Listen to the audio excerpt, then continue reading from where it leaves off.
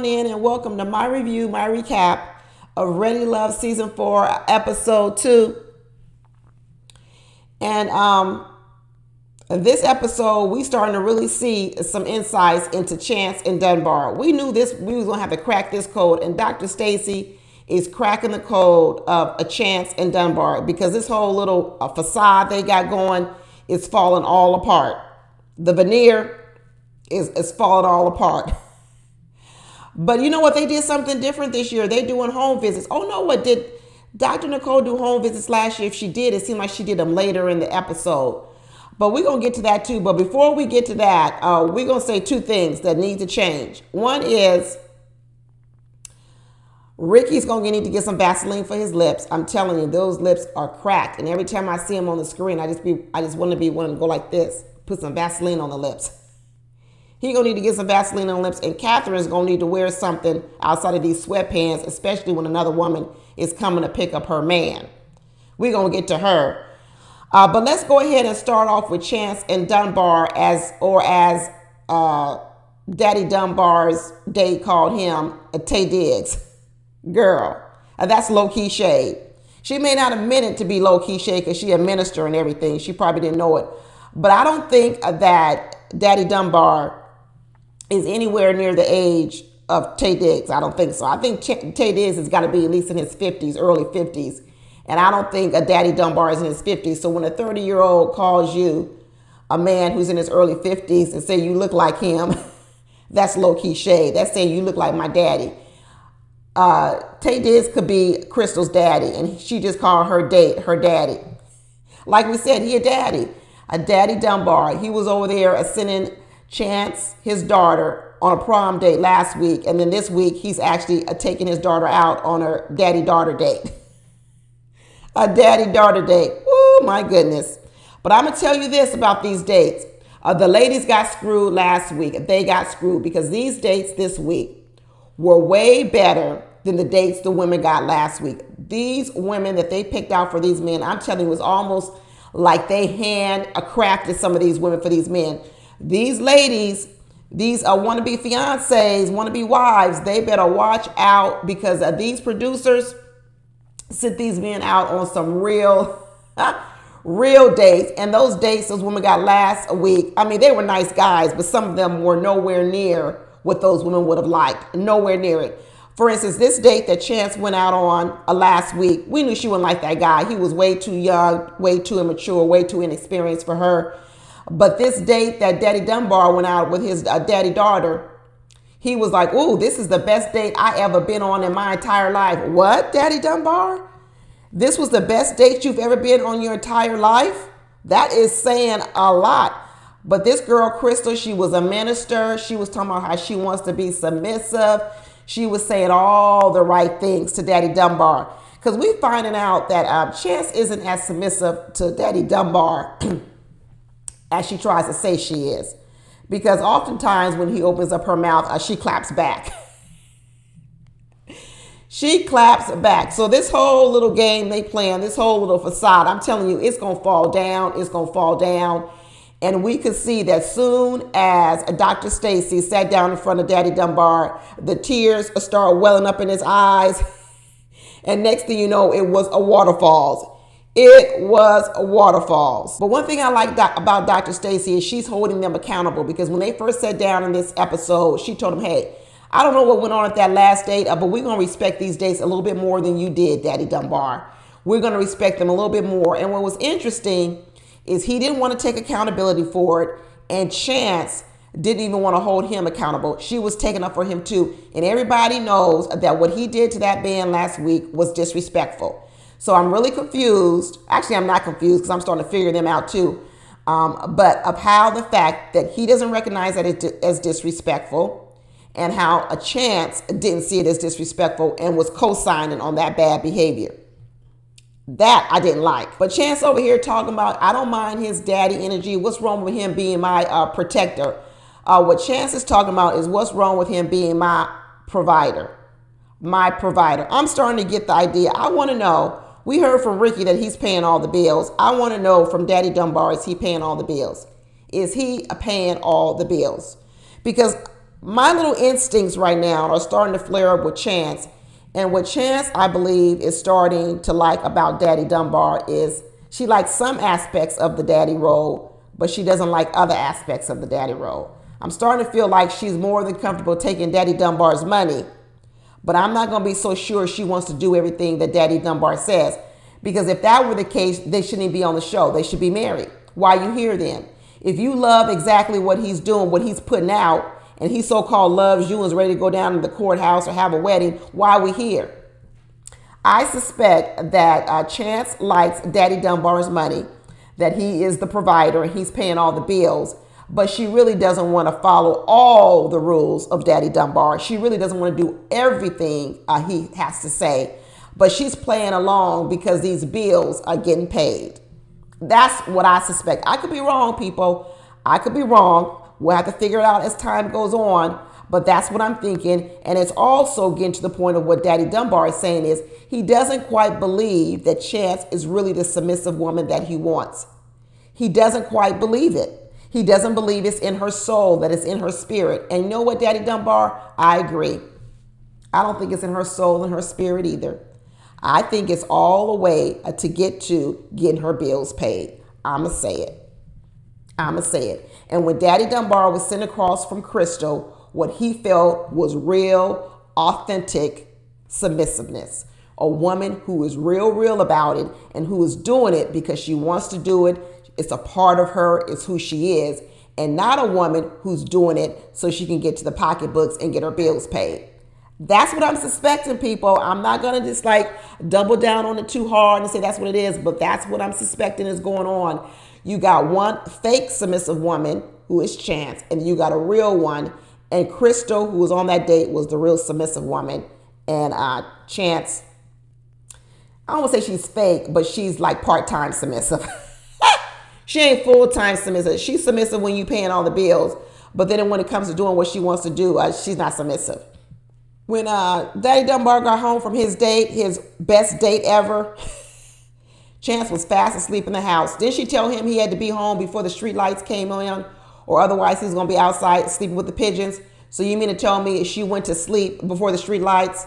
That must mean that Daddy Dunbar got home late. Late. He had a long a date and late. And Chance, guess what? She went right to sleep. She didn't care too much. Pretty soon I'll be like, she don't even love this man. by the next two two episodes, I might be saying, uh, Chance don't even love this man.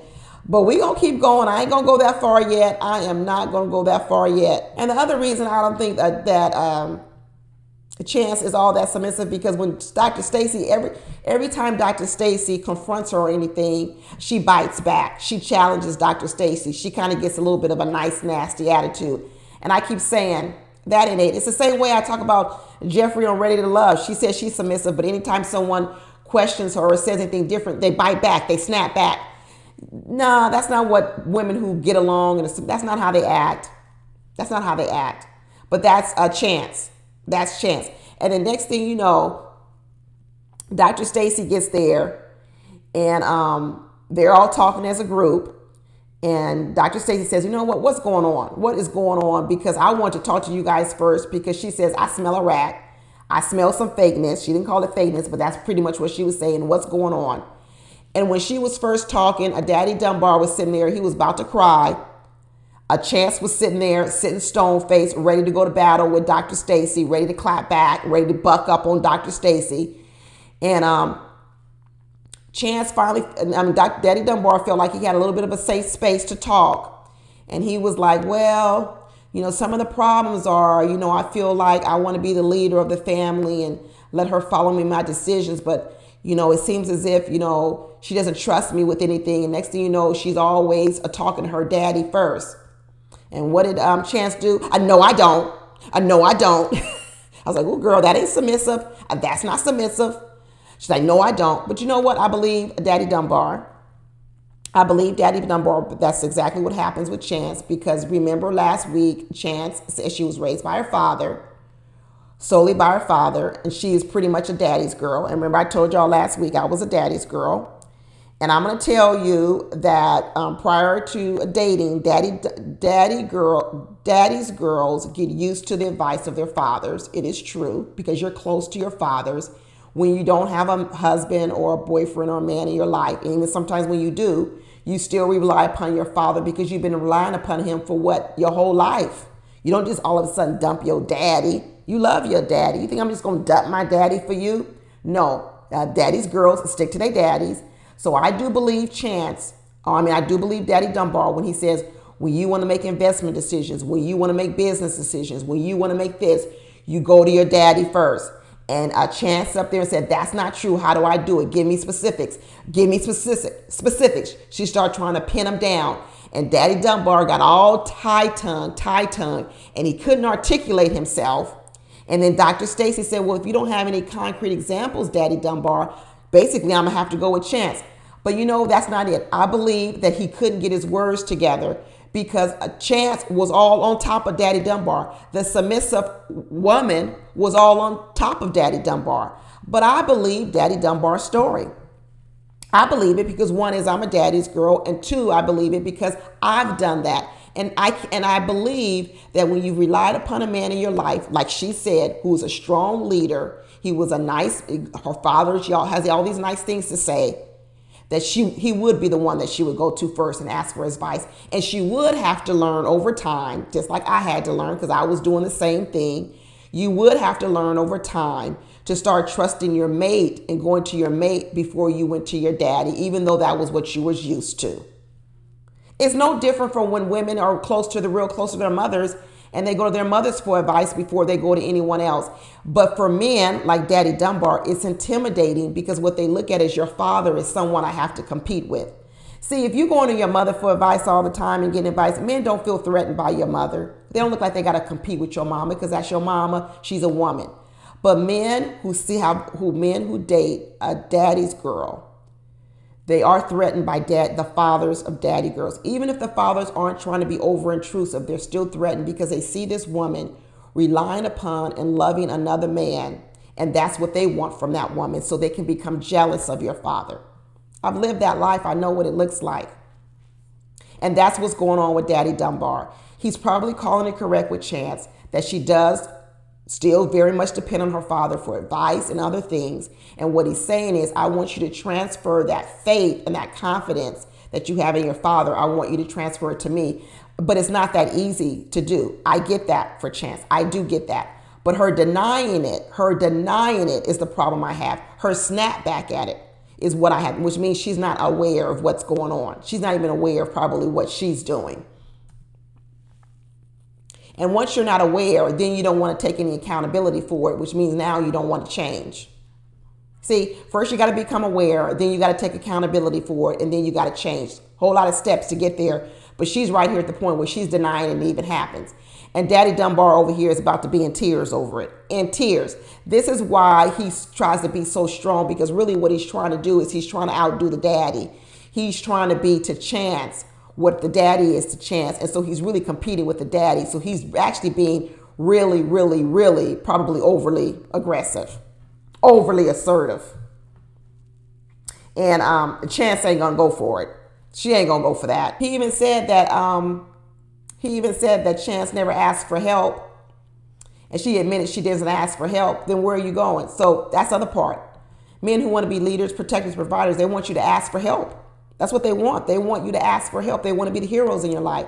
So one is she probably doesn't ask him for a lot of help. And two, when she does need help, the first person she goes to is her daddy. Daddy Dunbar ain't lying. He ain't lying. Now the question will be, uh, why doesn't she want to ask uh, Daddy Dunbar? Maybe she don't like his answers. Maybe she doesn't respect his intellect. Maybe she doesn't respect his decision making. Maybe the only reason, the only part of uh, Daddy Dunbar she likes is when she, he's handing her some money but she don't want him in his money. She doesn't want him in her money affairs. Could be a whole lot of stuff, but because she's not being transparent, she's really not telling the whole story. You really don't know. But I have faith in uh, Dr. Stacy. Dr. Stacy gonna get to it. Dr. Stacy is gonna get to the middle of it. She really is. I can already tell. That's why she sent. That's why she sent Chance out the room. She said, "I'm gonna need you to leave," because she already sensed that Daddy Dunbar had some stuff up in him that he was almost afraid to say in Chance's face, or if Chance said it, she was going to jump down his throat. She ain't submissive. That's why when he was sitting across from a real, authentic, submissive woman who was Crystal, he felt at home, he felt at peace, and what he said was it was the best date he's ever been on. The best date he's ever been on. These two. Dr. Stacy got her work cut out for her I hope she can help them. I hope she can help them. But then we're going to move on to this other couple, jo- uh, Joya and Joshua. And uh, Joya better be careful. Uh, she better be careful because when that girl walked up in the room, what was her name? What was her? Celine. when Celine walked up in that house with that body hugging dress, uh, looking cute, um, even uh, Joya had to say, you know what? I'm a little bit nervous. Let me go over here and hit this bottle. she went over there and had to uh, uh guzzle down that glass of wine. She probably went through two bottles of wine. She probably went through two bottles of wine because, first of all, she knew that this girl looked good and she knew that physically this would be a girl her man would be interested in. And little does she know that not only would he be interested in her physically, that when they got at that table and they start talking about all this chakra and meditation and going to the Buddha man and all this, um, you know, uh, self meditation. Ah, woo! Joshua over there, Joshua whatever was over there, like uh, this is this is it. This is right here. This is what I'm looking for. Uh, this is what I'm looking for because I told I told everybody last week. It's not that he doesn't like Joya. It's not that he um, I doesn't like her in love with her. But I have a funny feeling he's now 40 years old and he still don't interested in having no baby. I thought he was younger when he was talking about he's not ready for kids, but he'll be ready for kids in another what four years he said. Three three or four years. 43 44 he don't want no kids.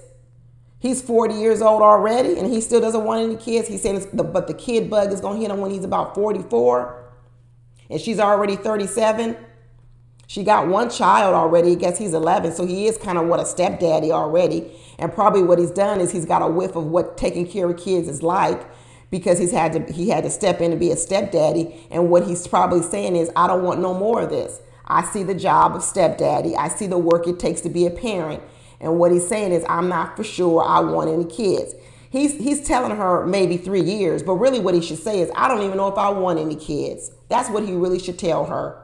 Not that I want kids in 3 or 4 years. He should say, I don't even know if I want any kids. And that's okay. That's why when he sat across from that girl who was 30 years old and she said, first of all, he was liking her because she was 30, which means she's not 37, which means she has more years, which means he could get with her.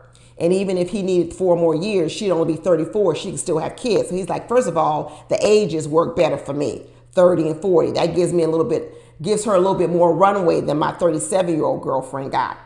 Second of all, she said, if I'm not married, I'm not having no kids, and I will be okay with that. Then he really liked that answer because he was like, man, that also gives me the option of never having no kids. Then to tell me you like to go to Thailand and meditate and all this other kind of stuff. Woo! Uh, Joy, you better. Did that man even come home that night? Did Josh even come home? Because he might uh, just pack his bags and go right on with Celine. I'm telling you, it's not that he does not care about Joya. It may not be that he doesn't love Joya. He may have a fantastic time with her. But this man does not want any kids, definitely not in no year or two years. We'll have to see how it plays out, people. We'll see how see if how it turns around. But uh, this uh, he was so excited about this date. He was doing push-ups, getting ready for this date. He was just a little bit too excited about the date for me. That's why he didn't give her no boundaries last week because he didn't want no boundaries. He was like, you don't need no boundaries, uh, Joya, because I don't want no boundaries. He gonna date for real. He's gonna date for real, for real. Like I said, he gonna be like Darian last year. He gonna really date. I'm not gonna say he gonna be a dog like Darian was, but he gonna really, really date. He was loving this girl's energy. He's. I, I'm gonna be interested in hearing when they say, "Do you want a second date?" I'm gonna be interested in hearing um, if he says no or yes. I'm gonna put my money on yes. He's gonna go out with her again. If he says no, he's only going to do it because he don't want to make Joya mad, but he really want to go out with her again. Absolutely, he does. He gonna want to go out with her again. This gonna be interesting. Unless that girl turned out to be a fake and phony because she did sit over there talking about she knew Spanish, and then when he when he and then when um I guess uh, Josh knows how to speak Spanish too. When and then when she tried to say a few words in Spanish, I don't know, was jumbled. I speak enough Spanish to know that she stumbled across that Spanish. I was like, girl, I thought you told us you spoke Spanish like fluently. Okay, uh, you you speak Spanish poquito. Habla español poquito. oh my goodness, that was funny. But we'll see how much of it is real. We'll see how much of it's real about her. But if she's the real deal, Joya gonna have a problem on her hands. She gonna have a problem on her hands.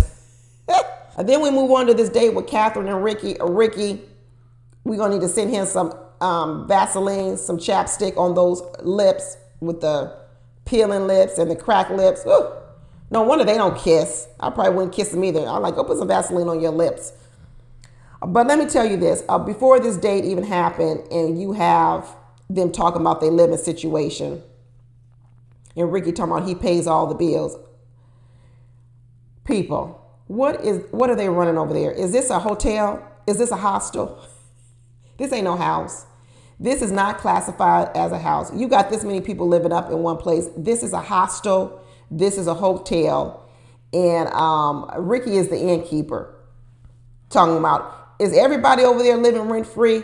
is everyone over there living rent free? Are all these brothers and sisters and everybody else, including Catherine, is everybody living over there rent free? When Ricky says, I pay all the bills, is it because the rent of the brother and sister means that uh, Catherine don't have to pay no bills? Or is it because um, he charging everybody? I, I called Catherine last week uh, roommate, that they just roommates. Um, I'm demoting her. She ain't a roommate no more. She a tenant. She an in at the guest. She is uh, a hotel, a customer, a client. What is going on over here? This is not a man who's trying to build a relationship and a family with Catherine. He done packed the house with so many people. They are not even roommates. He running the inn over here, people. He's the innkeeper. Lord have mercy. And then uh, I got on Catherine last week because she wore these sweatpants to that date she went on with Mark. And then she said to, she was mad when this girl showed up with a real nice dress on and said, oh, why do they get to go out on a date? And I had to dress a casual. First of all, Catherine, what you had on was not considered casual. What you had on was workout clothes. If someone was taking me out on a date and they said, we're going on a date, but let's just dress casually, I wouldn't have worn what Catherine had on. I don't consider that casual. I consider that I'm about to go running, I'm about to go ride a bike, I'm about to go out and play some basketball. That's not casual. So she must not know attire.